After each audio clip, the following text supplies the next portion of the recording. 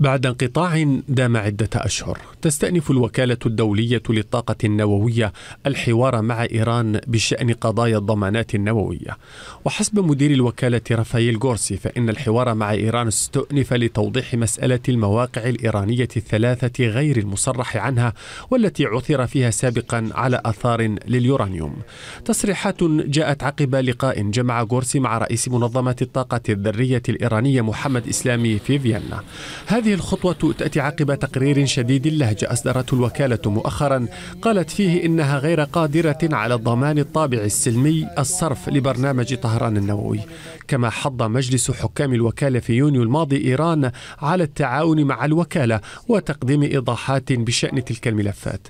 ويعد تحقيق الوكالة الدولية للطاقة الذرية إحدى النقاط العالقة في المفاوضات التي انطلقت في فيينا في أبريل من العام الماضي والتي تهدف إلى إحياء الاتفاق النووي ويتيح ذلك الاتفاق رفع العقوبات الدولية المفروضة على طهران مقابل كبح برنامجها النووي بإشراف الوكالة الدولية للطاقة النووية. لكن إيران أوقفت تعاونها تدريجيا مع الوكالة كرد على خروج واشنطن من الاتفاق.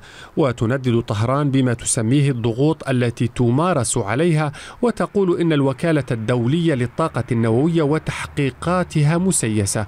استئناف الحوار بين الطرفين يراه مراقبون اختراقا مهما في مسار المفاوضات النووية، لكن انعكاساته على مسار المفاوضات مرهونة بمدى جدية طهران في التجاوب مع مطالب الوكالة.